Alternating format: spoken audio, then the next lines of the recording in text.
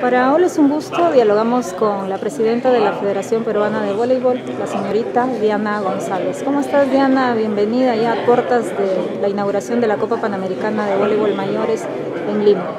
En Lima y Cañete. Estoy muy contenta con toda, con toda esta nueva nuevo equipo, nuevo staff y sobre todo celebrando eh, los 75 años de nuestra federación y con las expectativas muy altas para lo que será esta Copa Panamericana en su edición número 16 y con el trabajo, el profesionalismo y el compromiso que caracteriza nuestra selección.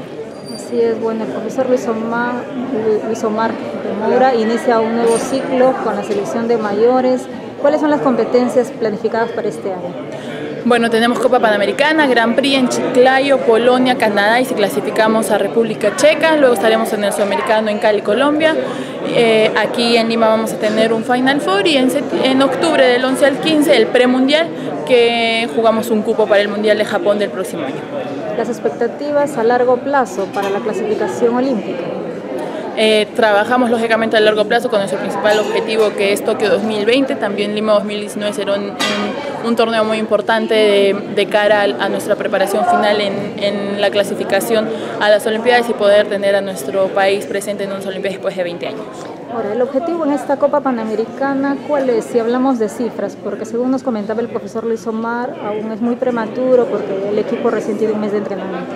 Sí, sí, sí, pero yo confío que este equipo va a clasificar y vamos a pelear los primeros puestos del 1 al 6 y podremos estar eh, pues peleando en, Cañete las finales, que es la, etapa final 23, 24 y 25 y poder dejar atrás nuestro pasado de, del 7 para abajo. Yo creo que esta, en esta oportunidad vamos a clasificar a la segunda ronda a pelear del 1 al 6. Diana, eh, eres una de las presidentas, tengo entendido, más jóvenes del mundo en este momento.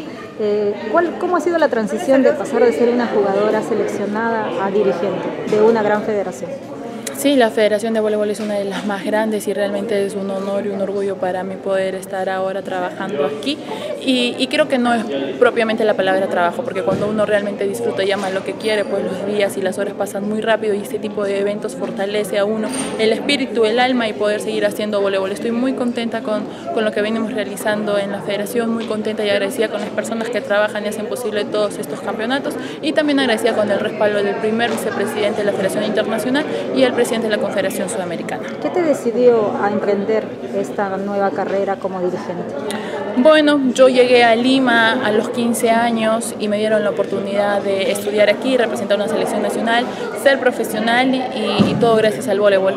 Yo siempre tuve eso en, en mente y me gustaría, bueno, antes pensaba que me sentía, me sentía en deuda con el país. Yo creo que ahora poco a poco estoy pagando esa deuda, trabajando por las personas que aman este deporte y que también tengan la oportunidad que yo tuve, que valoro mucho la educación y sobre todo llevar una vida sana, porque ya sabemos, mente sana, cuerpo sano. Así es. En este momento, ¿cuál es la situación legal de la federación? ¿Está reconocida por el IPD, por la Federación Internacional?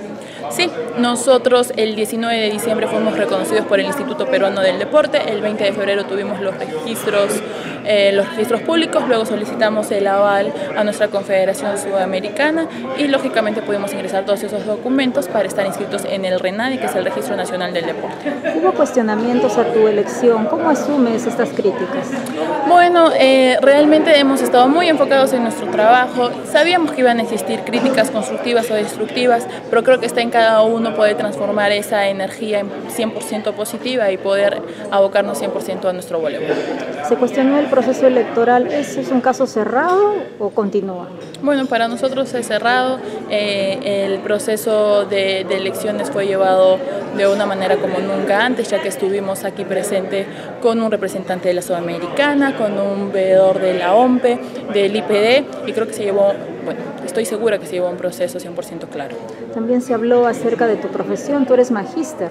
Sí, señora, yo soy, yo soy, yo hice una maestría en administración de negocios y, se habló de mi grado, se habló de mi de mi constancia por esa calificada y todo eso ya yo lo tuve gracias a, la constancia que yo solicité al IPD.